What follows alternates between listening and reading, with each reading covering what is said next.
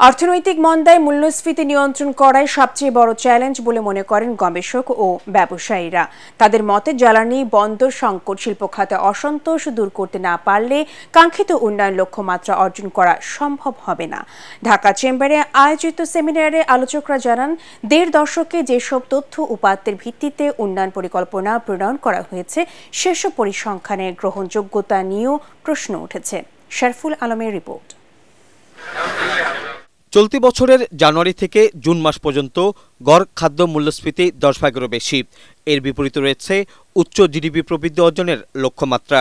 দেশের অর্থনীতিতে এমন বহুমুখী চাপ সামলাতে হাতে নেওয়া হচ্ছে নানা আর্থিক সংস্কার কার্যক্রম এই পরিস্থিতিতে ব্যক্তি খাতে নির্ভর করে কীভাবে অর্থনীতির চাকা এগিয়ে নিয়ে যায় তা নিয়ে ঢাকা চেম্বারের সেমিনারে ব্যবসায়ী নেতারা বলেন, দশটি ব্যাংকের জন্য পুরো আর্থিক খাতে আস্থাহীনতা তৈরি করা যাবে না। সিস্টেমিক স্টেবিলিটি মেনটেন করাটা আমাদের জন্য খুব ক্রিটিক্যাল। আমরা চাই না যে এই দশ বারোটা ব্যাংকের জন্যে আমাদের পুরা ব্যাংকিং সেক্টর ক্ষতিগ্রস্ত হোক। এই যে চোদ্দ থেকে আঠারো হাজার কোটি টাকা, এটা কিন্তু ডাইরেক্টলি ইনফ্লেশনে কন্ট্রিবিউট করেছে। সেন্ট্রাল ব্যাংক একদিক থেকে মনিটারি টাইটনিং করে আপনার ক্রেডিট ফ্লো কমিয়ে দিয়েছেন। ইনফ্লেশন করার জন্য। কিন্তু অন্যদিক থেকে যখন এই যে এই নেগেটিভ ব্যালেন্সটা ক্রিয়েট হলো এটা কিন্তু নেট অফ করে দেখা যাচ্ছে যে সেন্ট্রাল ব্যাংকে যেখানে হয়তো বা আসলে এম টু গ্রোথ যেখানে হয়তো বা দশ পার্সেন্ট কমতো সেখানে হয়তো কমে এসছে মাত্র দুই পার্সেন্ট পনেরো বছরে যেসব তথ্যের ভিত্তিতে উন্নয়ন পরিকল্পনা করা হয়েছে তা নিয়ে সন্দেহ প্রকাশ করেছেন গবেষকরা। সেমিনারে নিয়ন্ত্রণহীন মূল্যস্ফীতিকে কমিয়ে আনতে রাজনৈতিক প্রভাব খাদ্য জ্বালানি নিরাপত্তা নিশ্চিতে বিশেষ নজরদারির তাগিদ দেন তারা।